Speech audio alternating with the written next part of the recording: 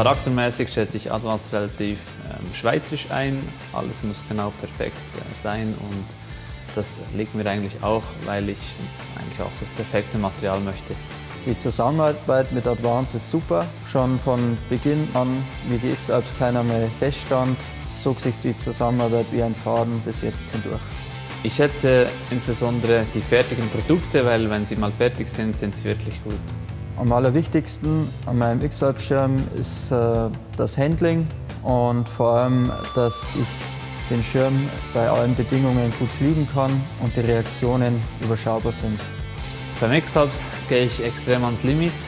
Mit der Müdigkeit habe ich meist zu kämpfen und von dem habe ich eigentlich auch am meisten Respekt, dass ich dann auch immer die richtigen Entscheide treffen kann.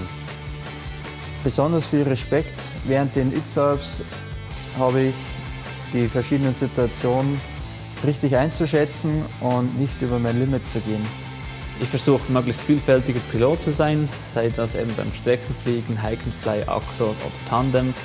Und ich möchte neu dazulernen, wie ich noch schneller und präziser fliegen kann. Ich beschreibe mich eher so als Piloten, dass ich eher zurückhaltend bin, aber dann trotzdem mein eigenes Ding durchziehe.